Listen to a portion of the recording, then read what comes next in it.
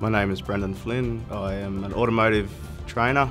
Uh, being an ambassador is a very humbling experience. I guess a sense of being ambassador is just gratification for all the hard work that I've done over the years and finally seeing the result. Our greatest achievement in VET is setting up the Back on Track program which uh, supports young people that are disengaged or in need of help in getting them back into society.